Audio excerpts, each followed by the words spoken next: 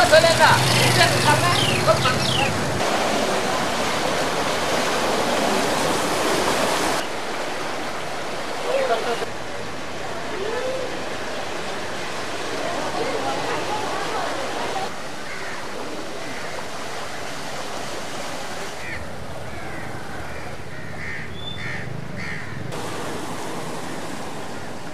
Le trazo todo eso a ustedes,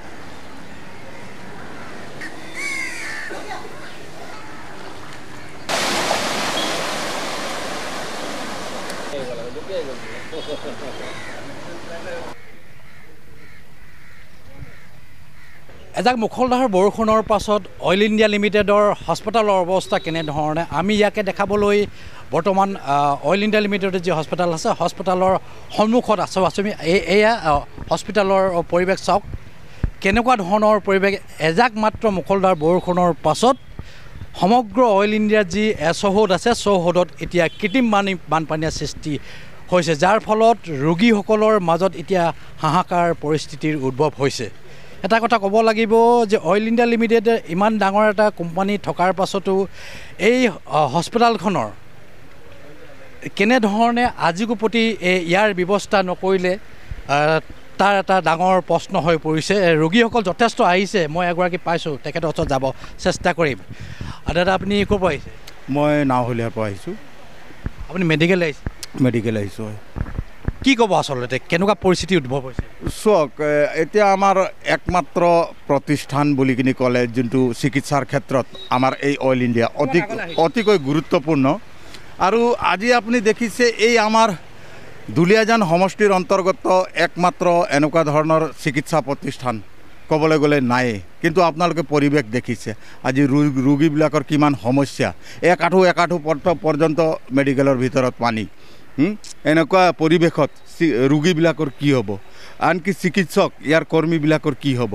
কেনেকুৱা পৰিৱেশত তেওঁলোকে কাম কৰিবলগীয়া হৈছে আপোনালোকে নিজে চাওক আৰু এই ক্ষেত্ৰত অইল ইণ্ডিয়া কৰ্তৃপক্ষই আগন্তুক আহিবলগীয়া দিনত বহুতখিনি কৰিবলগীয়া কাম আছে। ইয়াৰ জনপ্ৰতিনিধি লগতে অইল ইণ্ডিয়া মেনেজমেণ্ট সকলোৱে ইয়াৰ ব্যৱস্থা গ্ৰহণ কৰক। অনাগত দিনক আনি আমি এইটোৱে ক'ম। আৰু কি ক'বলগীয়া আছে?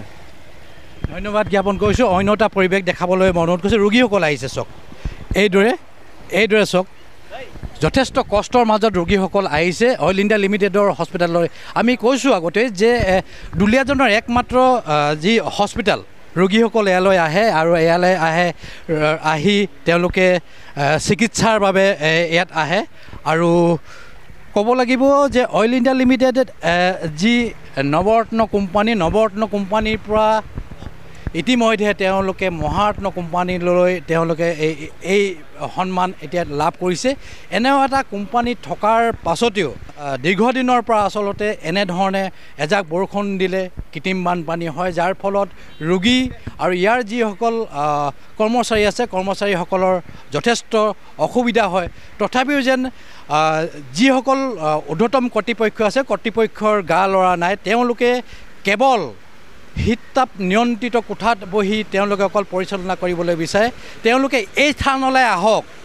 শীততাপ নিয়ন্ত্ৰিত যি তেওঁলোকৰ কক্ষ আছে কোঠা আছে কোঠা ত্যাগকৈ তেওঁলোকে এই স্থানলৈ আহক আৰু এই ৰোগীসকলৰ মৰ্মবেদনা বুজক। যিসকল ৰোগী আছে ৰোগীৰ মাজত এতিয়া হাহাকাৰ পৰিস্থিতিৰ উদ্ভৱ হৈছে কেতিয়া আচলতে এখন ভাল হস্পিটেল পাব দুলীয়াজানবাসীয়ে সেয়ে এতিয়া ডাঙৰ প্ৰশ্ন হৈ পৰিছে।